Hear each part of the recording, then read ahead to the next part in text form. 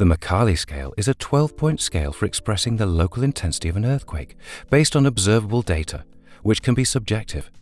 It ranges in Roman numerals from 1, virtually imperceptible, to 12, total destruction.